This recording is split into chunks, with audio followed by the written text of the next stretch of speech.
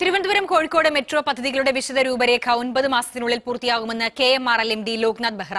ഇരു നഗരങ്ങളിലും സമഗ്ര ഗതാഗത രൂപരേഖ തയ്യാറാക്കും. വൈപ്പിൻ ഹൈക്കോടതി റൂട്ടിൽ ഒക്ടോബർ ആദ്യവാരം വാട്ടർ മെട്രോ സർവീസ് തുടങ്ങുമെന്നും ബെഹ്റ പറഞ്ഞു. തിരുവനന്തപുരം കോഴിക്കോട് നഗരങ്ങളിൽ നടപ്പാക്കാൻ ഉദ്ദേശിക്കുന്ന ചെറു മെട്രോ പദ്ധതിയുടെ നടത്തിപ്പിന് കെ എം ആർ എല്ലിനെയാണ് മന്ത്രിസഭ ചുമതലപ്പെടുത്തിയിരിക്കുന്നത്. യാത്രക്കാരുടെ എണ്ണം ഭൗതിക സാഹചര്യം റൂട്ട് ദൈർഘ്യം എന്നിവയിൽ വിശദമായ പഠനം വേണം.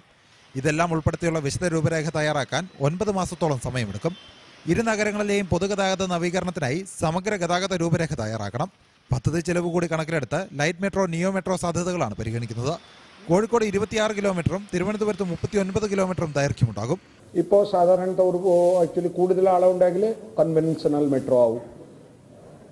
അതിനെ കുറച്ച് കൊ- കുറഞ്ഞിട്ടുണ്ടെങ്കിൽ പിന്നെ then it will be like light metro then അതിന് താഴെ ടെൻ തൗസൻഡ് ആൾക്കാർ താഴെ ഉണ്ടെങ്കിൽ if it is one അവറിലെ movement and that area is less than ten thousand it goes to metro neo ഇതാണ് പോളിസിയുടെ അടിസ്ഥാനത്തിലാണ് ചെയ്യുന്നത്.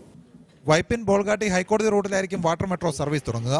പരിശോധനാ ഘട്ടത്തിലിരിക്കുന്ന അഞ്ചാമത്തെ ബോട്ട് കൂടി ലഭിച്ചാൽ ഒക്ടോബർ ആദ്യവാരം സർവീസ് തുടങ്ങാനാകുമെന്നാണ് പ്രതീക്ഷിക്കുന്നതെന്നും K M R M D പറഞ്ഞു. ഉദ്ഘാടന തീയതി സംബന്ധിച്ച കേന്ദ്ര അനുമതി ലഭിക്കുന്നതോടെ പേട്ട എസ് എൻ ജംഗ്ഷൻ പാതയിലും മെട്രോ സർവീസ് തുടങ്ങും. മനോരമ ന്യൂസ് കൊച്ചി.